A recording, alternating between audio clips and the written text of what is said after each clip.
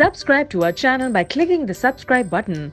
Click the bell button and enjoy the latest uploads from our channel.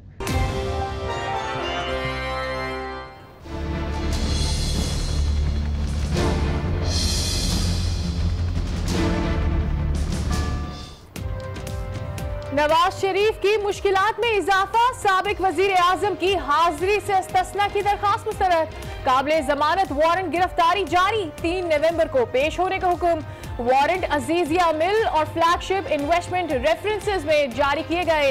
London flats references में जामिन को show cause notice जारी। अदालत ने आज हसन नवाज़ और हुसैन नवाज़ को भी तलब किया था। ताहम वालिद की तरह वो भी पेश नहीं हुए। अदालत के गेट पर वकला और पुलिस एहलकारों में तल कलामी बिल्कुल सही कहा है। वकीलों की सीटें हैं यहाँ पे। और शाह जी वर्दी उतरेगी तुम्हारी ठीक है ना? वर्दी उतरेगी सीटों के तो। समझ आइए ना? मुलजिमान अदालतों को बहुत आसान ले रहे हैं। एहतसाब अदालत में नए प्रोसिक्यूटर का मौकफ जज मोहम्मद बशीर ने प्रोसिक्यूटर की सरजनिश कर दी। कहा, तबसरा ना करें, दलाइल दें। यहाँ मजमा नहीं लगा, जो ऐसी बात कर रहे हैं। मरियम नवाज़ और शोहर एहतसाब अदालत में पेश मीडिया से गुफ्तगू में मरियम नवाज़ ने कहा कि नवाज़ शरीफ के खिलाफ कुछ नहीं मिलेगा। लंदन जाने वाली टीम भी खाली हाथ लौटी। वीआईपी एहतसाब ये होता है कि कमर दर्द का बहाना बनाकर छुप जाएँ। ये सवाल भी किया कि क्या सारा कानून सिर्फ़ नवाज़ शरीफ के लिए ही है? अगर आप नाइंसाफ़ी पे आवाज़ उठाएँ तो उसको तोहन अदालत कहा जाता है। जमहूरियत के लिए आवाज़ उठाएँ तो आपको गद्दार कहा जाता है। हम ऐसे वक्त से गुजरे हैं, बड़ा नाजुक नाजुक वक्त है पाकिस्तान के ऊपर। इन सुरखरू होंगे। क्या आपकी हुकूमत परवेज मुशर्रफ के रेड वारंट निकालेगी? सहाफी का मरियम नवाज़ से सवाल। आपको पता है असल बात क्या है? इतने सादा तो आप भी नहीं, इतनी सादा मैं भी नहीं। मरियम नवाज़ का जवाब।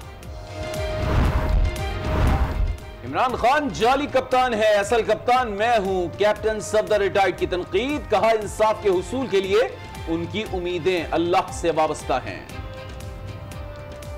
यार, मैं असल कप्तान हूँ, जेली कप्तान है, मुझे उससे मुआजना तो ना करो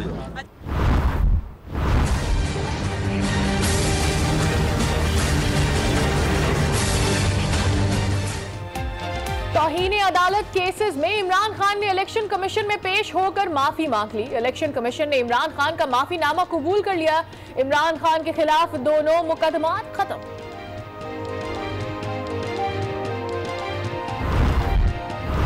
कह रही हैं कि कुछ सबूत नहीं मिल रहा। आप इंतज़ार कीजिए। सबूतों का एक मार्केट लगेगी। आ रहे हैं सबूत भी। मरियम कहती हैं, कोई सबूत नहीं मिल रहा। सबर करें, सबूतों की लाइनें लग जाएँगी। काफ़ी कुछ नया मिल रहा है। शेख रशीद का मरियम नवाज़ को जवाब। कहा नू लीग मुफाहमत का रास्ता ढूंढ रही है, मगर मुफाहमत नहीं होगी। नवाज़ शरीफ सऊदी अरब जा सकते हैं तो पाकिस्तान क्यों नहीं आ सकते? वो सऊदी अरब में एनआरओ की कोशिश कर रहे हैं। तहरीक इंसाफ के रहनुमा उस्मान डार की आज न्यूज़ की खसूसी ट्रांसमिशन में गुफ्तगु।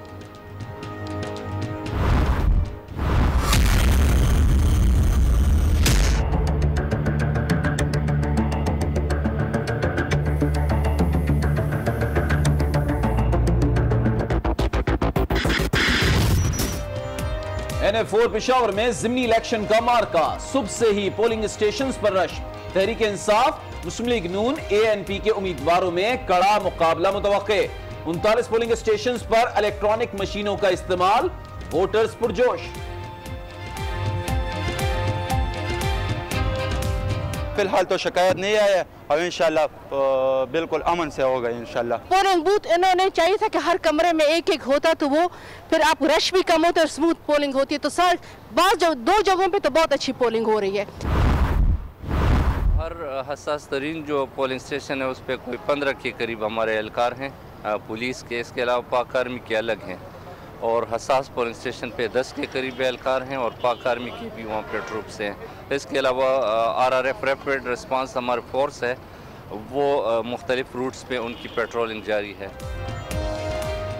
एन ए फोर पेशावर में सिक्योरिटी के सख्त इंतज़ाम सत्रह सौ फौजी जवान और सात हज़ार पुलिस एहलकार ड्यूटी पर मामूर, एक सौ इक्यासी पोलिंग स्टेशन इंतहाई हसास करार। सोशल मीडिया पर भी पिशावर के जिमनी इलेक्शन का चर्चा। सियासी जमातों के हामी अपने अपने उम्मीदवारों की कामयाबी के लिए सरगर्म।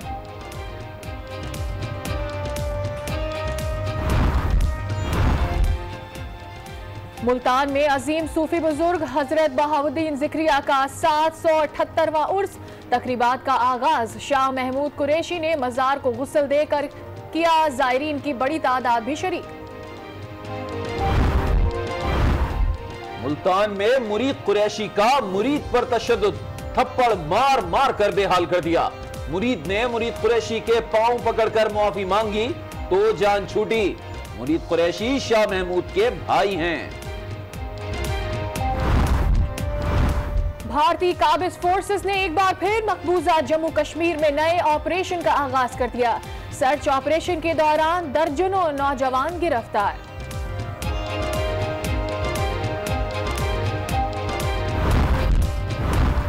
भारत में गैर मुल्की सैया भी गैर महफूज। उत्तर प्रदेश में सेल्फी बनाने से इनकार पर, स्विस जोड़े पर इंतहा पसंदों का तशद लड़की का हाथ